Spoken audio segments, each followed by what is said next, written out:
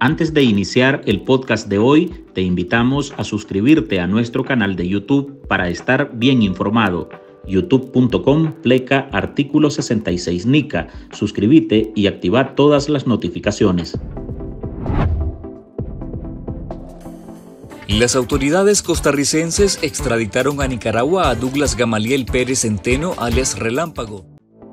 El 16 de febrero se conoció sobre la extradición del nicaragüense Douglas Gamaliel Pérez Centeno.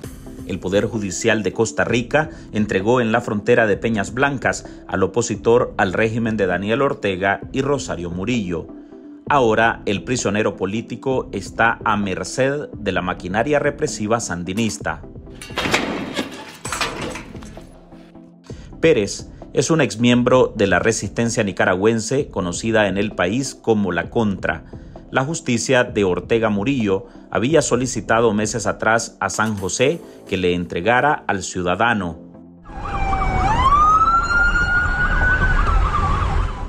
Al campesino, la dictadura nicaragüense lo vincula con el crimen de una policía y un ciudadano, sucesos ocurridos en 2022 en el departamento de Río San Juan. También se le acusa de un robo con intimidación y asesinato a trabajadores de la empresa agroindustrial del Río en el municipio de El Castillo.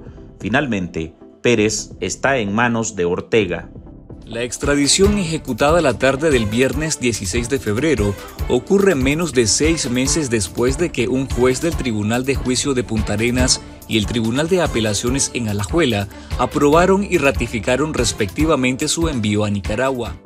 Los intentos legales de la defensa de Pérez para evitar la extradición fueron en vano pese a que argumentó que la vida del opositor corre peligro en Nicaragua y advirtió que el acusado podría ser víctima de torturas en la prisión debido a que se trata de un perseguido político. Sobre este caso, el Poder Ejecutivo de Costa Rica se desligó y atribuyó la total responsabilidad al Poder Judicial. Rodrigo Chávez se lavó las manos. La extradición es un proceso 100% judicial en el que solo tiene participación y ejecución las autoridades de ese poder de la República. El hecho alertó a críticos al régimen nicaragüense que viven en Costa Rica. Temen que al igual que pasó con Pérez Centeno, las autoridades repitan el patrón con cualquier otro ciudadano requerido por la justicia nicaragüense el hombre había sido circulado por la Interpol a petición de la dictadura y fue apresado en 2022. Costa Rica le negó el asilo político.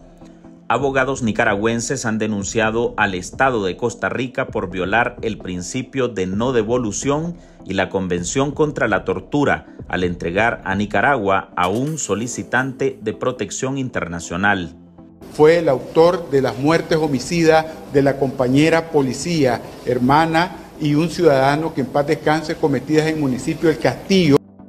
Con Pérez Centeno bajo su poder, el régimen lo presentó públicamente esposado, con cadenas y grilletes en pies y manos, y vestido con el traje azul que identifica a los presos políticos. La administración de Daniel Ortega además ha solicitado a su vecino país la extradición de Reinaldo Picado Miranda, a quien también señalan de ser coautor del homicidio de la oficial Araceli Díaz y del civil Pedro Echevarría. Hola, soy Álvaro Navarro y hoy en el podcast Ahora de Artículo 66 le presentamos Extradición de Douglas Pérez viola la Convención contra la Tortura y sienta un mal precedente para nicaragüenses en Costa Rica.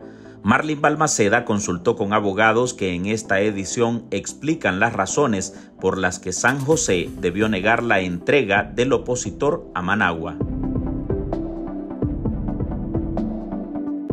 Monto de lo robado a la empresa agroindustrial del Río fue de 443.938 Córdoba con 63 centavos de Córdoba.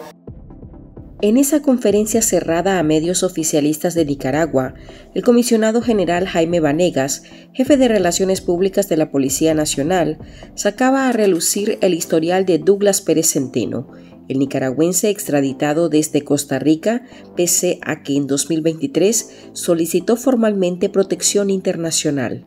Junto con otros eh, sujetos, fue el autor de las muertes homicidas de la compañera policía.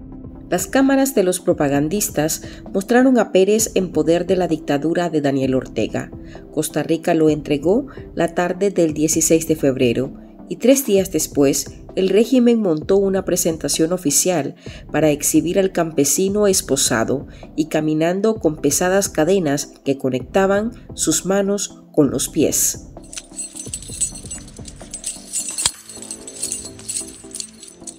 A Douglas Pérez lo acusan por homicidio de una policía y un civil, hechos registrados el 1 de octubre de 2022 en la comarca Buenavista del municipio El Castillo, en Río San Juan. En ese momento 10 sujetos armados con fusiles AK, escopeta y pistolas cometieron robo con intimidación que comúnmente conocemos como asalto a trabajadores de la empresa agroindustrial del Río, quienes se dirigían a realizar el pago de planilla en una camioneta placa M358917.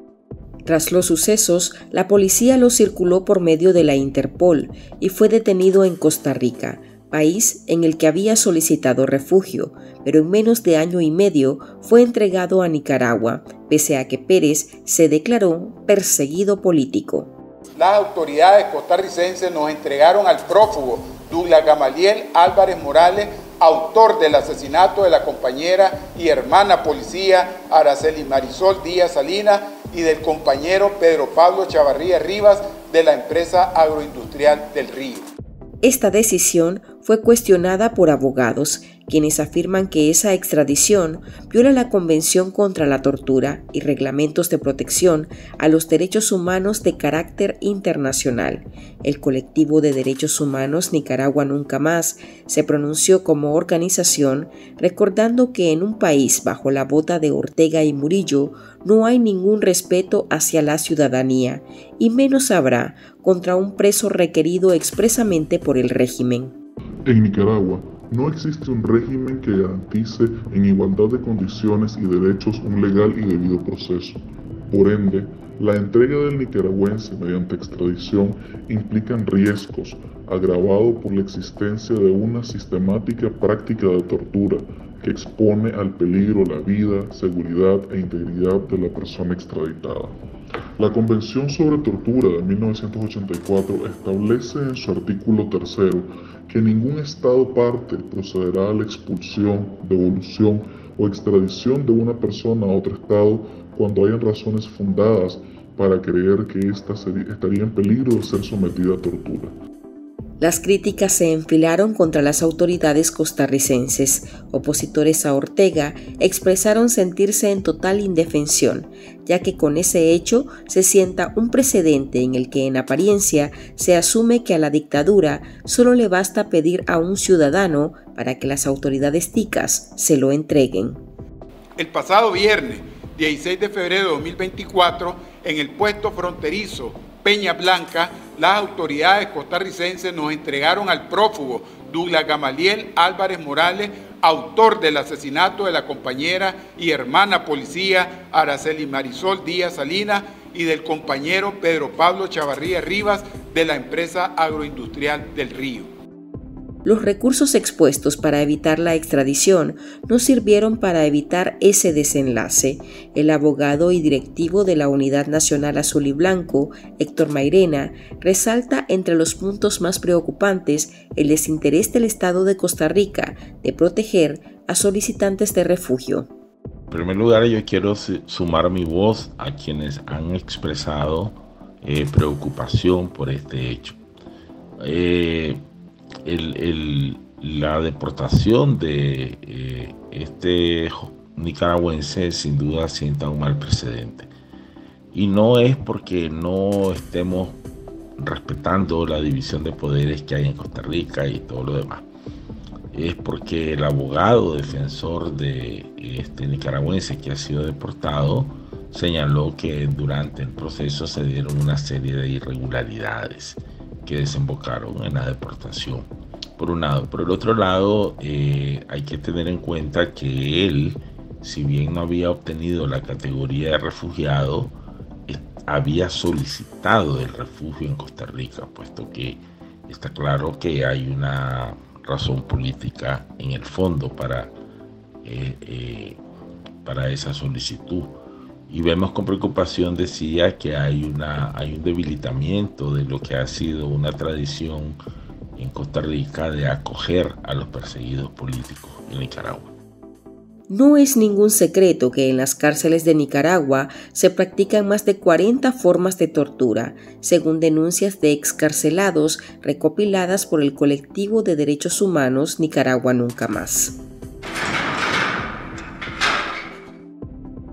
El organismo denuncia condiciones extremas e inhumanas de detención, golpizas, amenazas de muerte, desaparición forzada temporal, quemaduras, choques eléctricos, colgamientos, simulación de ejecución o asesinato y desprendimiento de uñas. Por esa razón, al tratarse de un opositor, tampoco hay garantías de que el régimen sandinista respete sus derechos humanos y su vida. Ahora está en serio riesgo.